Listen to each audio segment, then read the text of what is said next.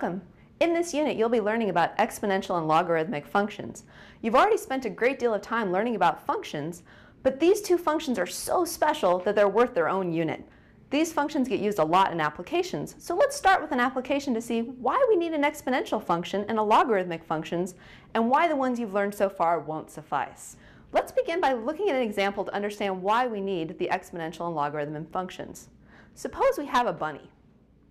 And if this bunny has a bunny every month, well, after one month, we'd have one bunny. After two months, he would have a bunny, and we would have two bunnies. After three months, each of those two bunnies would have a bunny, and we'd have four bunnies. If each of those four bunnies had a bunny, we would have eight bunnies, and so on. And eventually, we'd have a ton of bunnies. So suppose we track the bunny's population over time. What if we wanted to know how many bunnies there were after a month, after two months, after five months, after a year, after five years, after a century. To do these sorts of calculations, we would need to have some sort of function which captured the doubling behavior of the bunny population. So the function we're going to look at is something called the exponential function. We, see we have a graph, and in this graph we see the population of the bunnies for several iterations. We started with one bunny, then we had two, then we had four, and so on. What kind of function matches this behavior? Well, if you look back at the, think about the catalog of functions you already know. You know linear functions, polynomial functions, rational functions, and you try to think about this curve over here. Well, what does that look like? This curve doesn't look like any of the curves you're familiar with. You might guess a parabola because it seems to be curving up.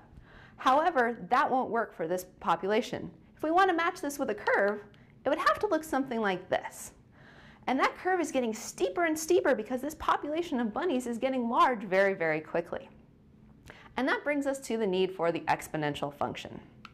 In John Napier's book, A Wonderful Description of Logarithms, he described how the logarithm was such a useful tool to help do calculations um, for celestial mechanics.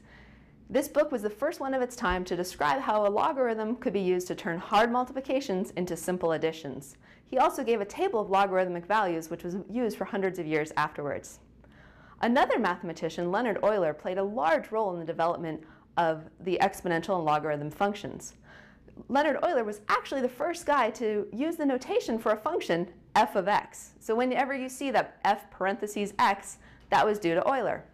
Euler was a very prolific mathematician. He wrote over 800 published papers in his lifetime, and his works would complete 90 volumes.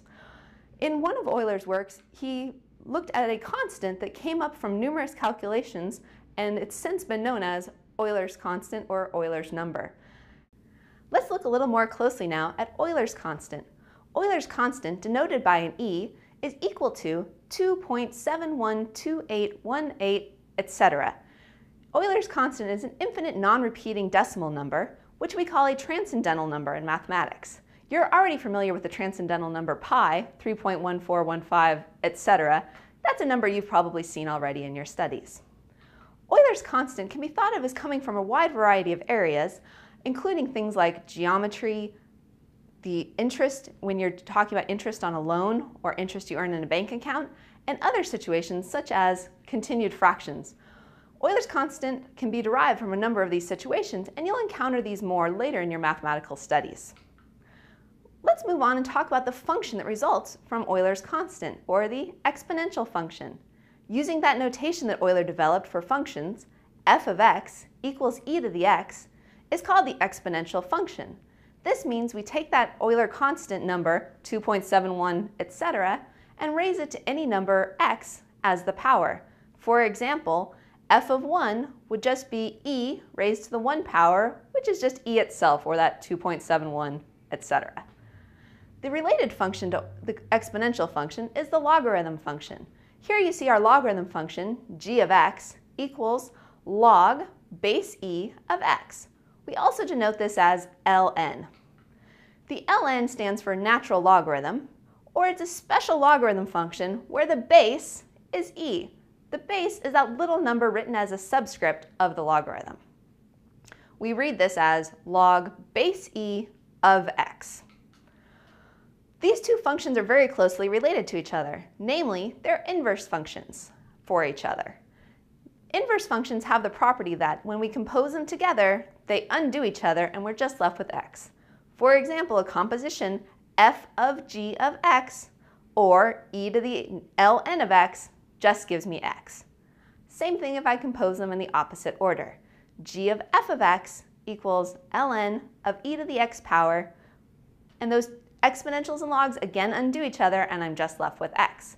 That's the inverse property of functions. You may have just seen we did this with a base of e. e isn't the only base you can use when dealing with the exponential and logarithm functions. Let's look now at the general exponential and logs. The general exponential function would just be f of x equals a to the x. a here is taking the place of some constant. a can be any positive number not equal to 1. So a has got to be greater than 0, but we won't let it be equal to 1. The reason is if a was 1, 1 to any power is just 1, and we'd get a constant function, which really doesn't satisfy the properties of exponential functions that we'll be talking about shortly. Another function we can look at, g of x equals log base a of x. Again, that subscript on the log stands for the base.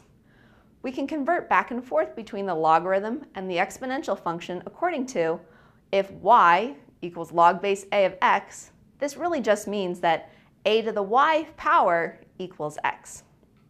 Once again, these two functions have the inverse property. If I compose them together, f of g of x or g of f of x, the exponential and logarithm undo each other and I'm just left with the x. Let's do a quick example so you can see how the log works because with different bases, sometimes this can be new to students.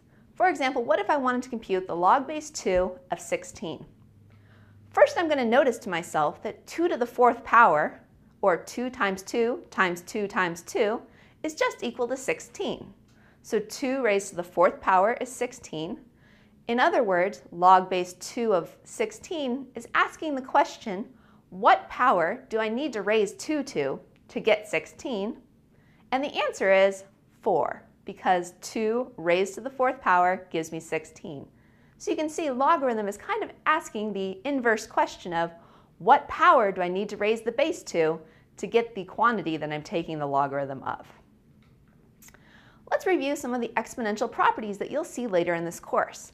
You see a lot of properties listed here. You'll be talking about these in much more detail later on. But for right now, what you'll want to be noticing is that there's a lot of properties of exponential functions, and utilizing these will allow you to solve equations involving exponents specifically exponential equations with e or any other base that we're talking about.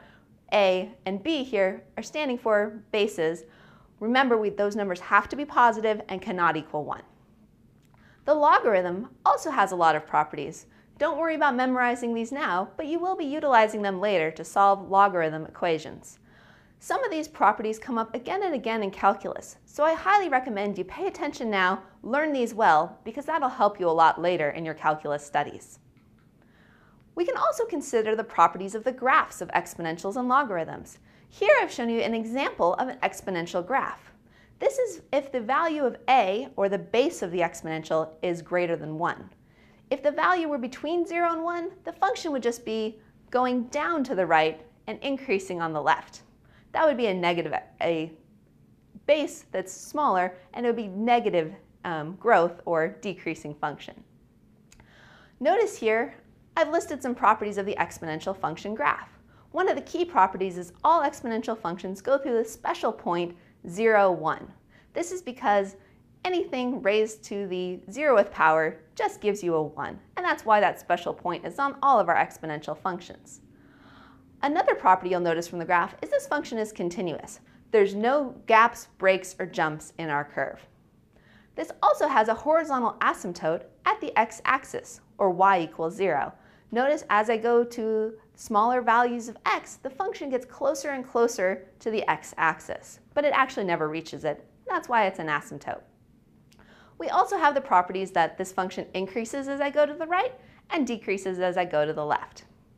Finally, notice this function is one-to-one. -one.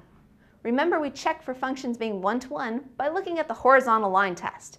Any horizontal line across my curve will intersect the graph at exactly one point and not more than one point. All right, let's now look at the exponential function's inverse, namely the logarithm function for contrast.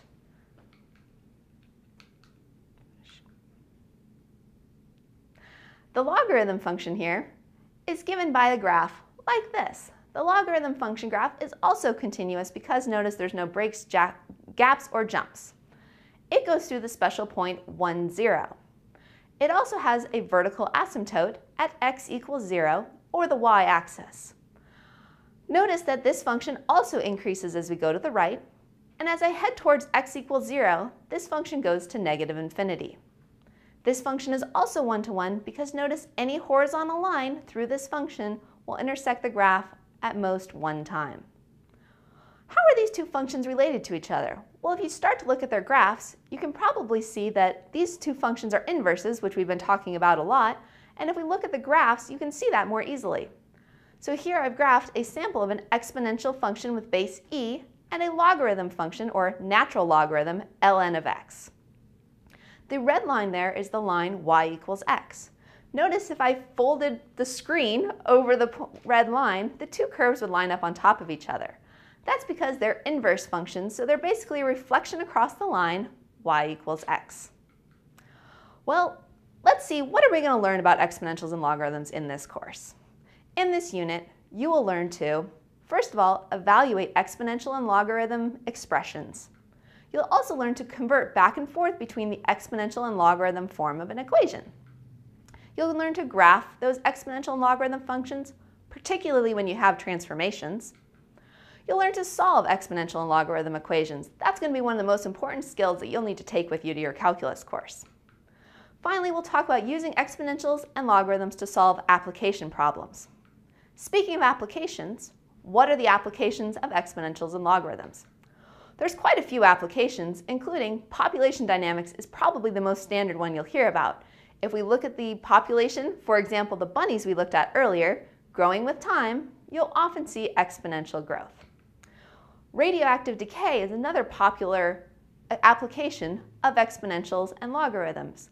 You may have heard of carbon dating. Carbon dating is where they figure out the age of old artifacts using the decay of carbon over time. And that's looking at an example of decay. In this case, it's not radioactive, but we are looking at the decay of a substance. Also, if you're ever investing money in the bank, you're often getting compound interest. Compound interest is an example of an application of exponential functions. Newton's law of cooling is the law that tells you if you put a cake on the counter, how quickly that cake will reach room temperature, or if you put hot soda in the fridge, how quickly will that soda cool? That's Newton's law of cooling, and that is another application of exponentials and logarithms. Finally, the Richter scale for earthquakes, in California you may be very familiar with this, the Richter scale for earthquakes is actually a logarithm function, and those numbers that tell you how severe an earthquake is is actually based on a logarithmic scale. Sound intensity is another thing that is measured in logarithms. The sound intensity decibel levels is a logarithmic function. And finally, the learning curve, which is the rate at which you acquire knowledge, can be modeled closely by exponential and logarithm functions. So if you're looking to figure out how much information you retain as a function of time at which you're studying, that actually will be modeled by exponentials and logarithms. Well, I hope you enjoy learning about exponential and logarithm functions. Thank you, and I'll see you next time.